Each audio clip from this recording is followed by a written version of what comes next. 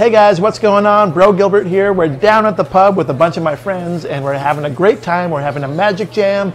We're jamming out on John Carey magic.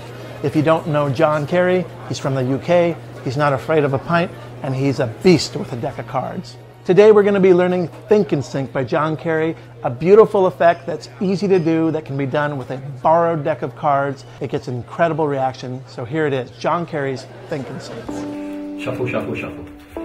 I want you to think of a card, but psychologically, a lot of people think of the same cards: Ace of Spades, Queen of Hearts. You know that as a magician, yeah.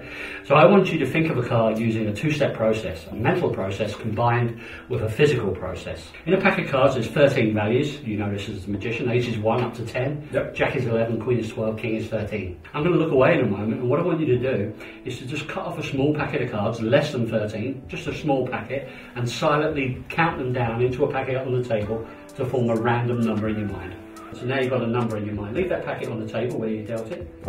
And uh, I'm going to ask you now to um, think of a suit. There's four suits in a pack, clubs, hearts, spades and diamonds. Just think of one now. So you're thinking of a value, you're thinking of a playing card suit. If you piece those two pieces of information together, you're actually thinking of a playing card. I've got a thought of a card in my mind about half an hour ago when we had a little break. I'm actually going to take that card out of the pack and I'm going to commit it and put it down there on the table, okay? And there it is.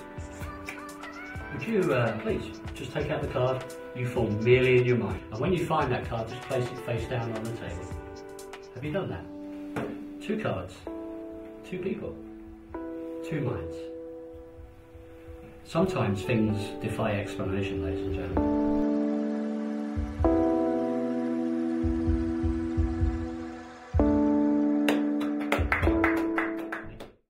Ah, cheers. Yes. no, I know. Uh, yeah, okay, in a minute, in a minute. Okay, two more. Yeah, right.